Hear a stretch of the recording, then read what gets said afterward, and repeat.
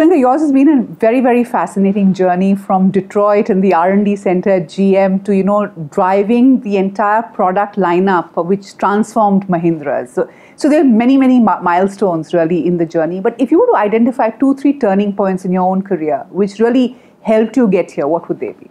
Well, uh, uh, clearly the the most important decision that my wife and I made was to come back to India way back in '93 uh, that was a turning point because uh, it's a very difficult decision. It was not fashionable at that time uh, for people who have lived in US for so long to return back uh, uh, back home. And having lived there for 18 years, for me to uh, decide along with my wife, in fact, she was the driving force behind it. it was not me. I didn't want to come back. Mm. she was the driving force, and and to come back was it was a difficult decision. And let me also say very honestly that at that time, the pay structure for professionals uh, was nowhere near what it is today. Hmm. Uh, so, uh, in terms of uh, uh, even the, the earning uh, was, was, was tough, not just coming back to India, but earning. But we took that decision, aided, of course, by the fact that Mahindra showed me what might happen here in terms of aspiration that any R&D professional would have in making a difference in, in, in technology in product offerings and so on. And that was a very attractive uh, uh, sort of value proposition for me to come back and try and make a difference uh, uh to a great company that we are here in Mahindra. Mm. And that's what it came. That was, that was one turning point. Uh, the second turning point for me was uh, clearly completing Scorpio and seeing a very successful launch of Scorpio, which is what then led for me to move away from technical uh, responsibility to more business management responsibility. And uh, that, in a way, was a completely new uh, sort of career for me. So, in some sense, I have had three distinct careers one in at GM, purely in technology area. second in Mahindra in product development engineering area, and third in Mahindra as general management and business responsibility area. So these were the two turning points. Mm. What was it like uh, to come back to Nasik from Detroit? Detroit is the center of the automobile industry, the center of R&D, iconic in that sense. It used to be even bigger than what it is now. So what was the difference that you saw at that time? Well, let, let me say that uh, I'm generally uh, perceived to be a left brain person. Yeah. Uh, but uh, the decision to come back to India and join Mahindra in Nasik was a purely right brain decision where I did not go through a deep analysis of spreadsheet of what is left, what is right, what is wrong, pluses and minuses. I just said, I'm coming. I had not even seen Nasik. I didn't know what Nasik was like. Uh, and when I landed in Nasik uh, and uh, went to work the first day um, and looked at this building where I was taken to, uh, so I said, where is R&D? So I said, they said, this is R&D. I said, this is it? And I said, oh my gosh, what have I done? Have I done something wrong? How can R&D happen in, in, in two-story, uh, 2,000 square feet uh, building uh, like what we have here? Uh, so, so it was a shock. It was a shock, but at the same time, it also was a challenge uh, that uh, was given at that time that can we take this R&D and someday create what we have today as MRV, which is over 75 acres of, of land with 2,500 people working. So that's the the professional uh, attraction uh, that uh, that was there for me to come into that setup, which was very rudimentary in terms of comparing R&D to any developed international automotive company to to what we had at that time, and now what we have today. Scorpio was an Indian uh, product and, and it's been one of the most successful products for Mahindra. Tell me, what is the challenge when you when you develop R&D? I mean, you know, and, and change the focus of a company to look at R&D. A lot of Indian companies are doing it now. What, what are the challenges that you face and what are the learnings from that? Before I talk about challenges, let me just uh, talk about what allowed it to happen, okay? And there are many challenges and we can talk about that for a long time, but what allowed it to happen was not having a legacy mm. of this is how it is done and therefore we must do it this way so everything that we did in the Scorpio days was inventing ourselves what is the next step. We didn't have a book to follow, right?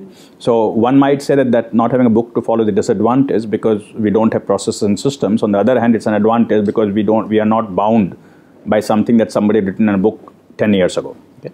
Uh, and that's what allowed us to do what we did. Uh, this famous story going around uh, that we had talked about at that time also that one large US company where the CEO understood what we are trying to do, wanted to help us in engineering, but told us not told their team not to interfere with the way we are working because if we work their way, uh, then we will not be able to innovate. Right?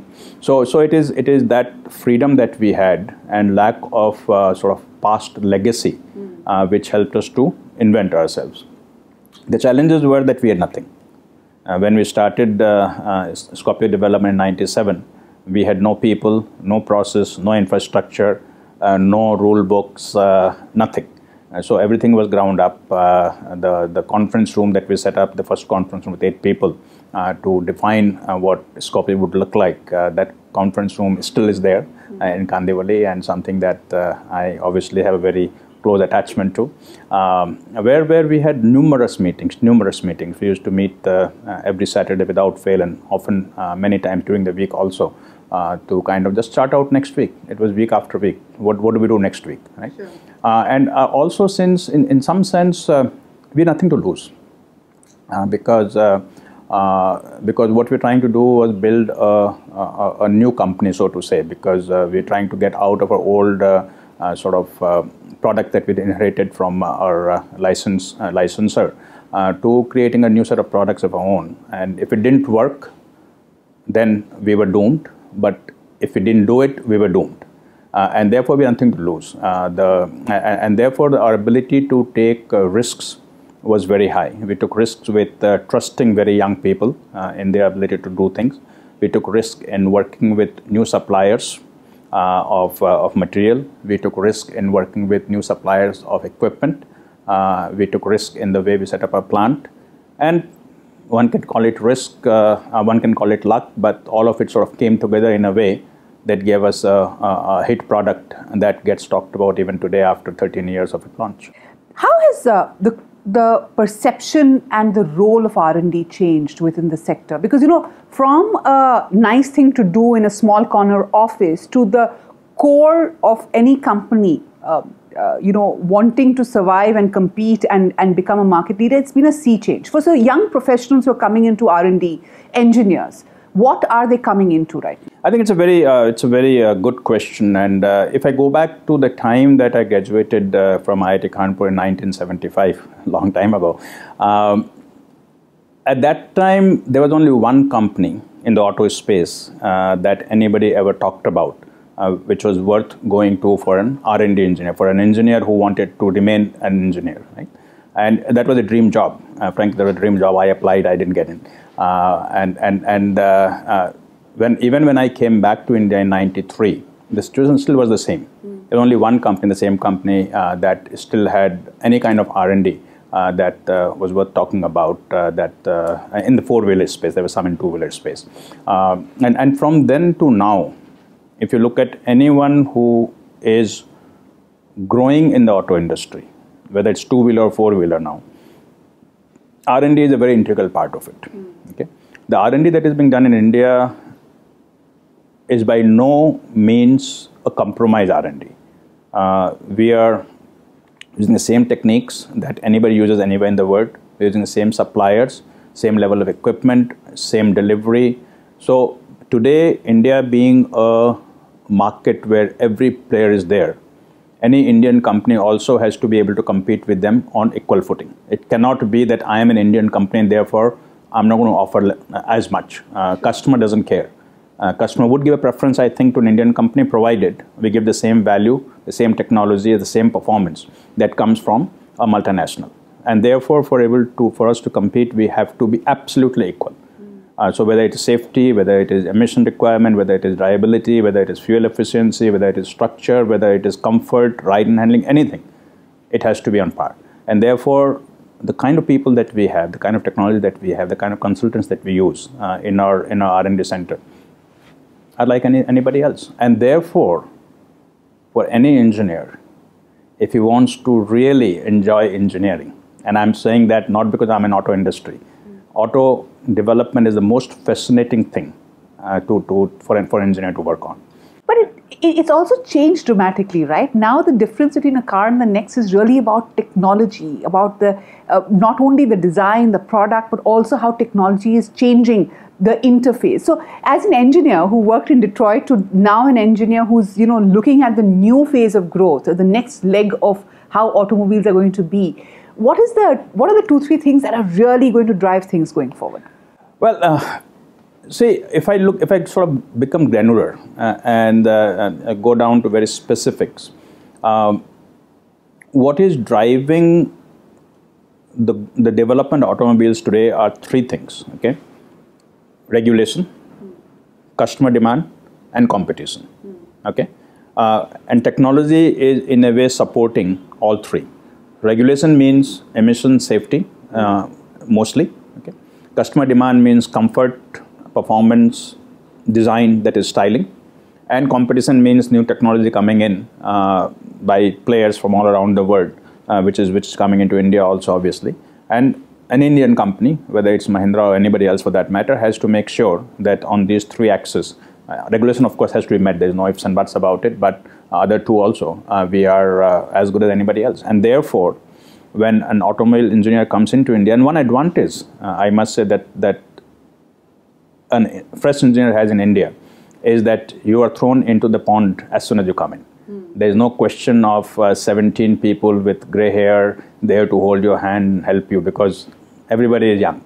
Uh, and therefore, you get to do uh, things that uh, often in a MNC you may take years uh, before you get to do that uh, because of their vast pool of trained, experienced engineers versus our very young team. Uh, and the average age of all our uh, teams have always remained 27. Really? So Scorpio was 27, Xylo was 27, uh, XUV was 27, and even today, uh, when we talk about uh, it is 27 has become 28, but not 35.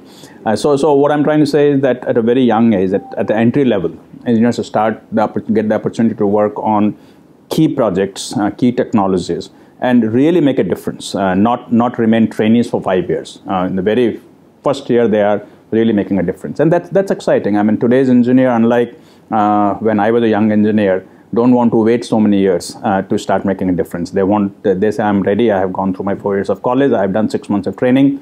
Now tell me what I can do, and don't tell me that I need to learn for four more years. Right. You're the chairman of the board that looks at IIT Chennai, one of the most, uh, you know, uh, coveted engineering colleges in the country what is your uh, advice to the faculty, uh, you know, the students? Because one of the big issues has been the connect between academia and industry. How do you see that bridging, and what uh, what do you see when you look at uh, IIT Chennai, for instance? Well, it's a it's a it's a very uh, deep question, uh, and and not something that I just want to give a glib answer to. Um, first of all, I must say that this opportunity that I was given to be the chairman of board of governors of IIT Madras was something that uh, now I'm finding to be very, very exciting for me. Very interesting because when I see how IITs work, I didn't have any connect with education uh, in the last several years. So see how IITs work, what are the difficulties that they face. Uh, I am beginning to see the other side uh, of, uh, of uh, the fence to see what we need to do. What is needed today, in, in one sentence, is a much better interaction between academia and India and, and, and industry today in India the talent that is available with faculty, uh, not just in IIT Madras, but now I'm coming in contact with many faculty members uh, across uh, the top institutions. I'm, I can only talk about that. The talent that is available here in faculty to do both fundamental research, but more so applied research that industry can use immediately is very high, very high, uh, and comparable to any comparable, I think, to anywhere else. But the opportunities that they're getting is very low. Okay. The kind of research funding that we have today in IITs even, and IIT probably gets uh, a bigger piece of the pie, uh, is dismal. Uh, for IIT Madras with a faculty strength of about 800, the total research funding is about 300 crores okay that is 25 30 lakh per faculty member. That is very small. We need to find ways and means of increasing that. And that cannot come from the government of india. That has to come from the industry. I don't think we should look to the government uh, to fund research. Uh, we have to look to the industry to fund research in iits and not because it's a good thing to do but because it is something that will add value. And i do believe that if uh, there is a proper uh, interaction that happens a little bit of understanding on both sides what the needs are, the industry side and academia side, then I think uh, Indian industry will benefit a lot. And it's not an instant return. So if somebody is looking to see what will happen in three months, sorry, nothing will happen. Mm. But if you're looking to see what can happen in three years, a lot can happen. And therefore, I think if industry works very closely with uh, IITs and NITs, a uh, lot can happen uh, in terms of helping the institute to strengthen their ability to produce good research and good students who will go out and make a difference, and for the industry to be able to do uh, to be able to get access to very high caliber of uh, of uh, researchers. Okay, that's on the research side. On the academic side, um, today also the caliber of people who go into IITs uh, has not dropped by any means uh, from the time uh, of 1975 or 1970 when I went to IIT. Oh my goodness. Okay. Um, but what has changed is uh, the number of opportunities there are compared to what it used to be at that time, and therefore many of the students don't want to make their career in engineering. Mm. Uh, and many students after IITs want to go into uh, do MBA and go into say management or even uh, go into various fields, investment banking, IT, so on and so forth, which is fine. I mean, uh, of course, we cannot say that that should not happen, and that is uh, giving a good career opportunity. Therefore, it should happen. But what is uh, perhaps missing is that students don't realize the opportunities available in manufacturing and industry uh, for applying their knowledge, uh, for having fun doing it. It's not all drudgery. Uh, for having fun doing it, and also earning potential. Uh, so it's not that uh, manufacturing industry does not pay well. Uh, in fact, if you were to compare uh, the compensation of R&D engineers, um, it's by no means a compromise. Uh, they're, they're very well paid today, and and and but perhaps somehow that recognition is not there. Sure. So where I would like to start with is before we talk about compensation career, what do you do if you as a graduate go to an industry? What are the opportunities available to you. And there still is an old mindset that nothing much happens uh, you know we will not do anything meaningful we'll be one generation behind technology. None of that is true no matter which industry you are in. Because india is a global marketplace. And when you're a global marketplace with global companies here no matter which industry you are in you have to be current. You have to be up to mark in terms of technology that you offer in your product whether you are in fmcg or whether you are in automotive or whether you are in in some industry making uh, making soap or making uh, whatever it might be. So so so I think if we can encourage that, if we can have better understanding of what an industry has to offer for top engineering colleges, will attract more and more bright minds into uh, industry, into manufacturing, and that will that will serve well because we have very talented uh, students. You know, when you talk about engineering, there is the IITs and the big institutes, and then there are the many in Mumbai itself, we have 67 engineering colleges. I mean, these are youngsters who are going to these colleges who want, who are thirsting for an education. What needs to be done to get them up to speed, uh, Dr. Goenka? Are they up to speed? What more can be done, and how can you get far more practical uh, knowledge and training over there? See, uh, I would I would uh, say that sometimes we underestimate the kind of talent uh, that is available in these uh, uh, sort of this, the, the next level engineering institutions. Uh, more often than not, uh, the students there perhaps come from uh, a background where they have not had an opportunity to showcase their personality. Mm-hmm. And, and personality also makes a difference in how you see a person. But many of our very good engineers mm. uh, have come from unknown colleges, uh, mm. and, and, uh, and some of our vice president level engineers have come come not from IITs and NITs, but from uh, local colleges, government colleges uh, that we have. Uh, however, what is lacking very clearly is that the infrastructure available in these colleges mm. for laboratories, for classrooms, even sometimes for textbooks, affordability wise uh, is, is, is not competitive. Uh, how do we support these colleges uh, in, in, in a sense that these students get the same opportunity at least uh, as one will get in IIT or NITs? And the faculty members, uh, how do we ensure that, that good faculty members are willing to come and teach in these colleges? Now, I don't think that we should pretend that these colleges should become uh, research-oriented colleges. IITs and NITs are research-oriented, and they should remain that way. Uh, I think these colleges should focus on teaching.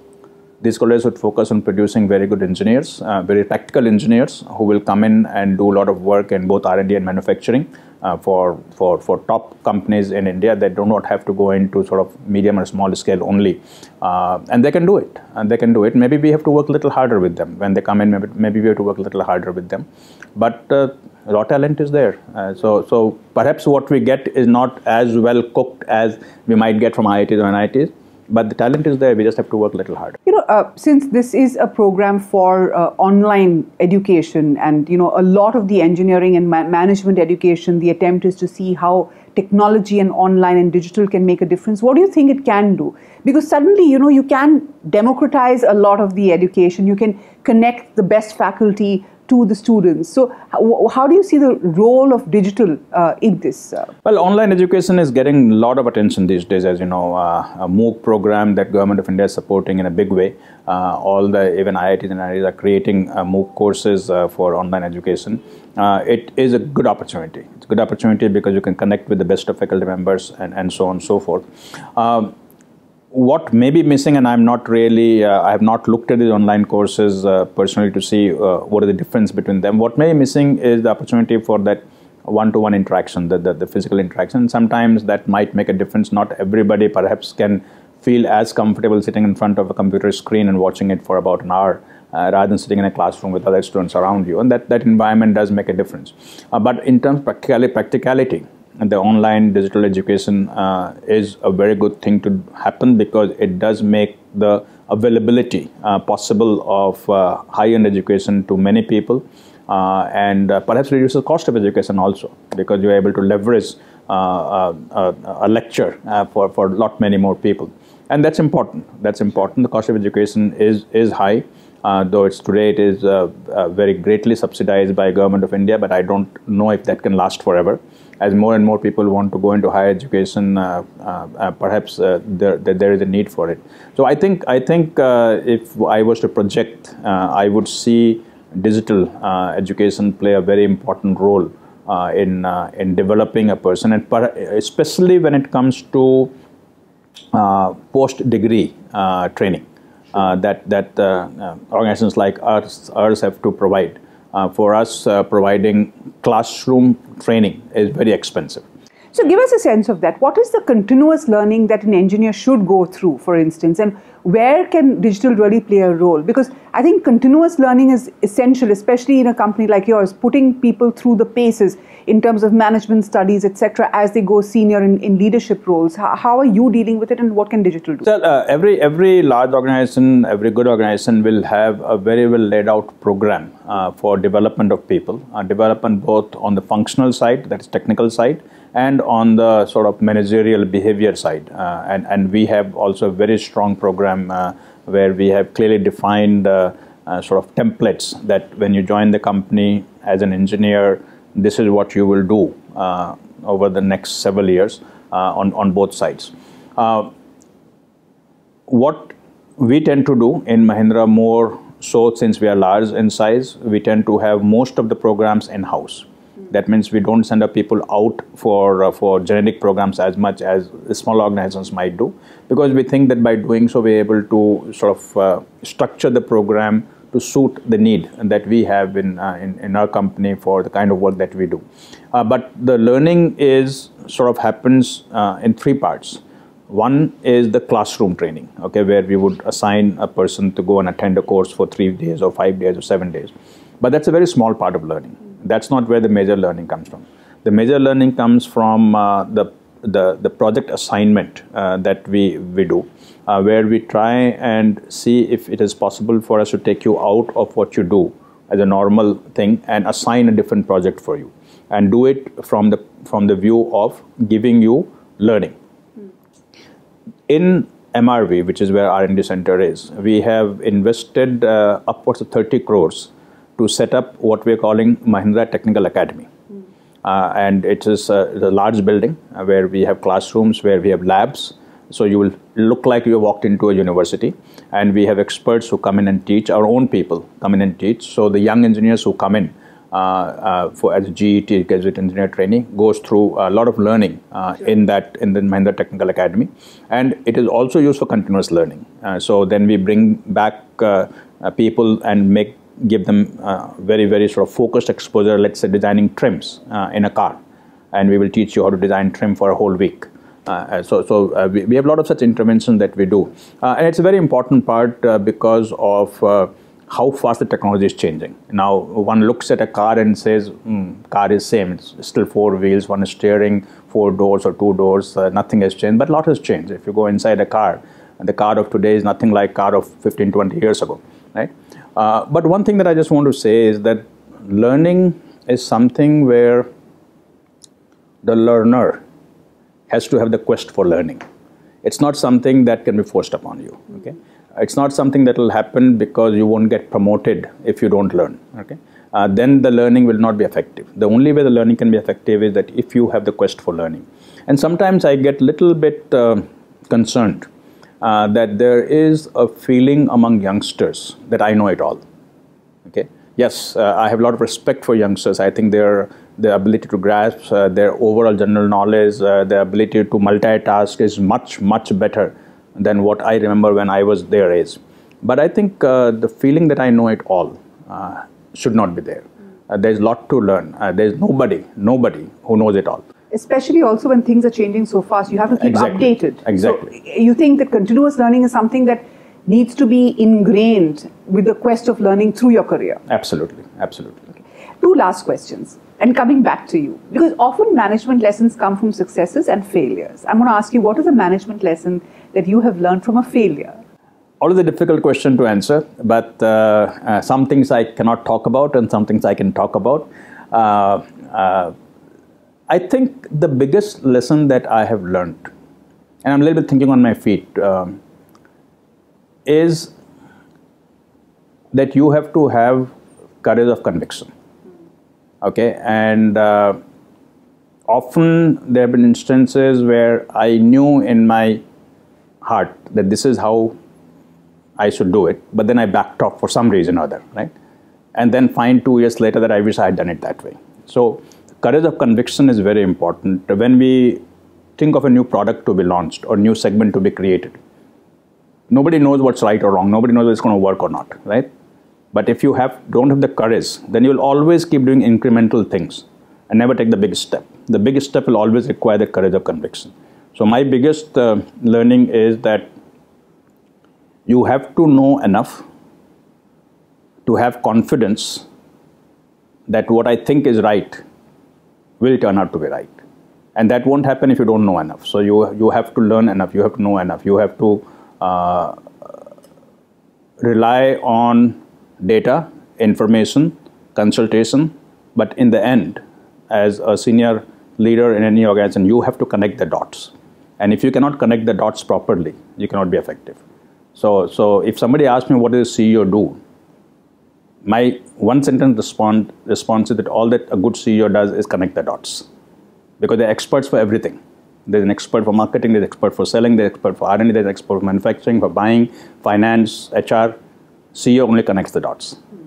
So that's, that's my, my, my big learn. What is the proudest moment for you? I think as a career uh, will happen to be will have to be Scorpio. Uh, uh, will have to be Scorpio uh, because uh, it was a transition for me personally. It was a transition for the organization, uh, and it was a transition to some extent, though it may sound too big a thing for me to say, but in, to some extent, transition for how the Indian auto industry uh, views itself in some sense, uh, in, in, in, a very, very, very uh, indirect sense. Mm. and what, what I liked about it the most, other than the tangible results that it gave us, was that uh, the, the can-do attitude, uh, uh, the, the, the courage that we can take on things that are very risky, that we've never done before, and still succeed against the best of people.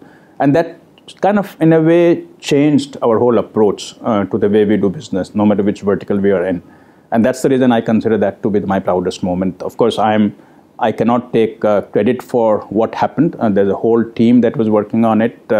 Uh, there's a management support that we had from my boss at that time, Mr. Alan Durante, and of course Anand Mahindra and the whole board. But to me personally, that would be the proudest moment. Last question What's your message for a young engineer watching this? If you want to do well, and first of all, want to define what doing well is. Okay, doing well is not just about what my title is and what my compensation is. Doing well is have I felt end of the day that I've made a difference? And if you've not made a difference, you've not done well. So, so I come back to the message that I want to give is that first you must understand what will make you feel that you have achieved something and define that. Don't just say that it'll happen. Okay, define that. Sit down and define that. It could be different thing for different people, doesn't matter. But define what will make you feel good that you achieved something in life. And whatever you do, do with passion. Don't do it for any other reason. If you don't have passion for it, don't do it. Don't let anybody force you to do something that you don't want to do.